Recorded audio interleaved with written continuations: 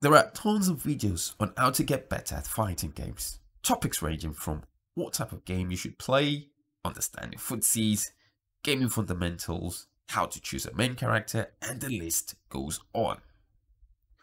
However, there seems to be little attention paid to the importance of victory quotes in fighting games. I mean, as a means of understanding the philosophy behind the design, playstyle, and tools accessible to each character. Well, it's beyond the scope of this video to claim, you know, universal application of this theory. But I think in Street Fighter V, in particular, Ryu, there seems to be a lot of details and attention paid to him that makes you feel, hold on a minute, I guess these are some clues. In Street Fighter V, my personal belief is the victory quotes about Ryu reveal the concepts, the playstyle, and the design applicable to him. Let's look into some phrases to explore what I mean.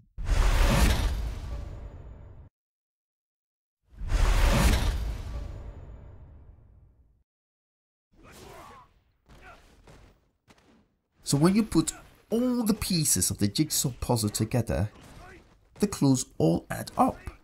And then we are able to appreciate and understand from the developer's point of view why Ryu should not meet your expectations.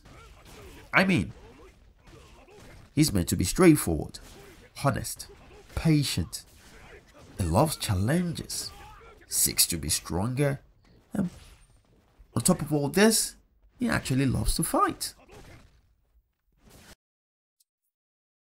With this information in hand, it becomes clear Ryu is never going to be a gimmicky character. No corner carry combos, no side switching in neutral, etc. He is actually meant to endure. And for that reason, he has been equipped with tools that sort of limit his potentials. And sometimes do put him slightly in a position of disadvantage. I guess that's why he's an eternal challenger. Let's look at some examples of what I mean. His crouching fierce is a very inconsistent tool as a means of anti-air.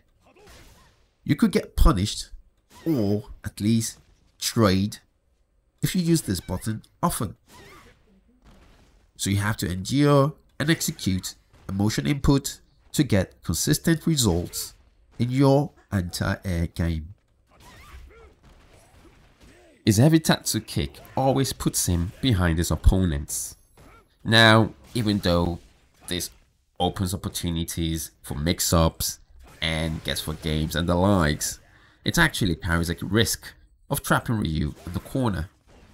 And this is particularly so if that opponent actually knows how to deal with the setup.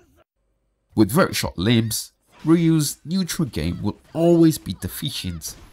He really needs to work hard, exercise patience, get really close in order to pose a threat neutral. His block strings are maximum 3 to 4 moves and everyone, everyone seems to know how to deal with it.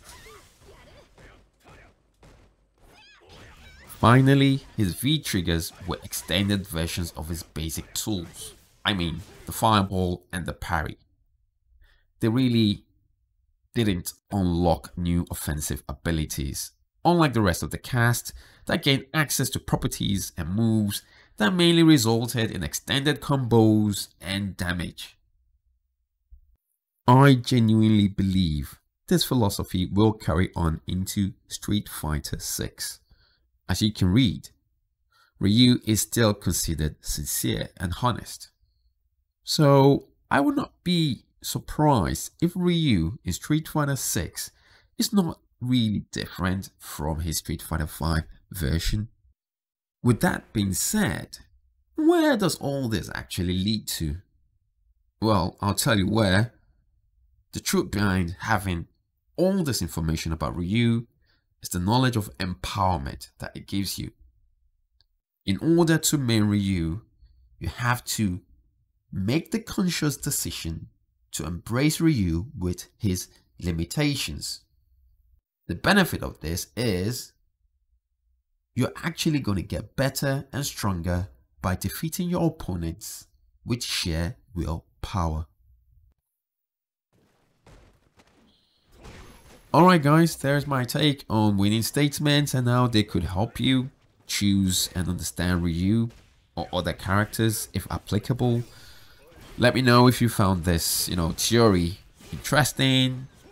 Is it something that you think could be applied to your character by sharing your thoughts in the comments below.